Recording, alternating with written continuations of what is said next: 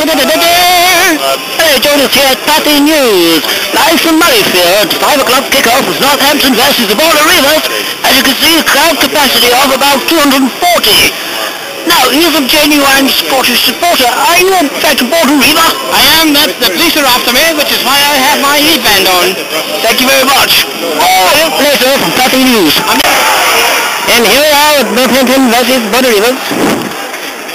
Northampton fans are exceptionally well turned out. What do you think, Lord Chumley? Very clean strips.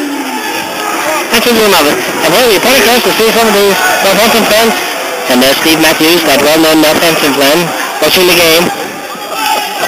That was some partisan reaction there from Steve. And back to the game.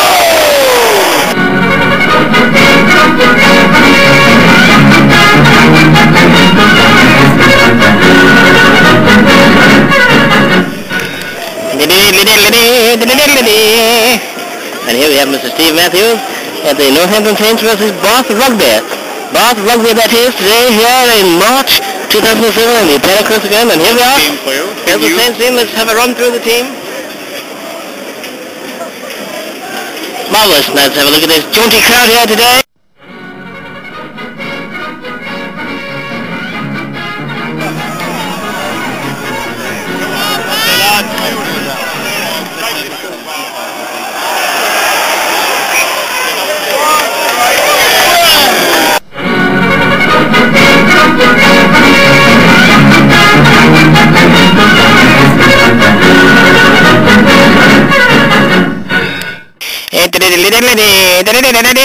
And here we are, the worst West Burton estate of Lord Chumley, known to us all as Chubby Steve Matthews. And here he is, surveying all around him on his country estate. Let's ask him what he thinks. So, what do you think of the country estate then, How Lord... did you get on? Who let you onto the estate, But, but, but we've, we've asked permission. Put that camera away. No, Get off my lap. no, you have to, you have to answer the questions. I refuse to answer the questions of the press. The gentlemen of the press need to make an appointment to come onto the estate. Anyway, let's ignore Lord Chumley and have a look at his estate. Here it is.